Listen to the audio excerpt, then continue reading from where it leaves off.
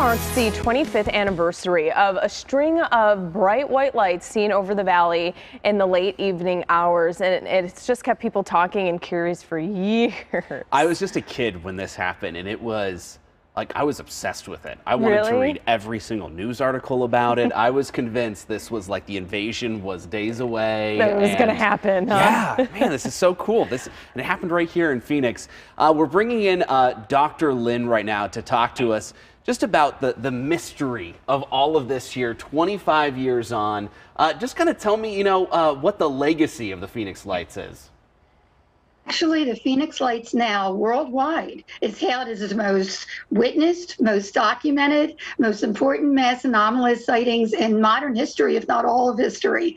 Um, we have come such a long way in 25 years. The story continues to evolve. Um, it's so exciting because on Sunday, uh, next Sunday, we have a wonderful, wonderful community event at the Scottsdale Harkin Shea Theater where we show our documentary. It's one of our dozen International Film Festival awards. We're so proud of that. And uh, it's very exciting to see it on the big screen, as well as speakers. We have Navajo Rangers who are law enforcement studying these phenomena. And there's a lot going on in the Navajo Range. We also have um, new witnesses that had up close and personal sightings during the mass sighting, as well as um, our own rock star and uh, uh, Phoenix Lights witness Alice Cooper is going to be doing a remote Q&A. And uh, I have to say, for anybody that doesn't know about the Phoenix Lights, while thousands of people were looking skyward for a glimpse of the Hale-Bopp comet, they also caught a glimpse of Mile, and we learned from the National UFO Reporting Center just a couple years ago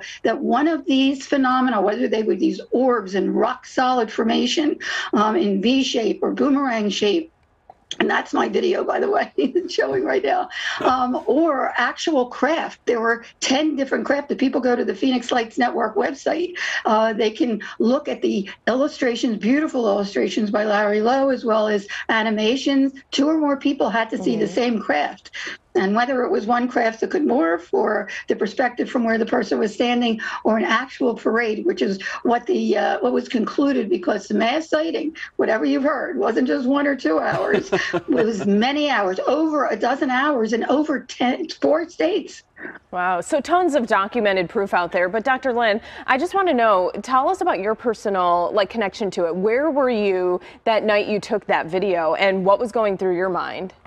Thanks for asking, Desiree, because for me, it was just another night. I had mm-hmm. actually been photographing, witnessing and photographing these anomalous aerial phenomena. I call them UAP now. Um, in 1995, right outside our bedroom window, I captured 35 millimeter photographs, not only then, but two years later, two months before the mass sighting.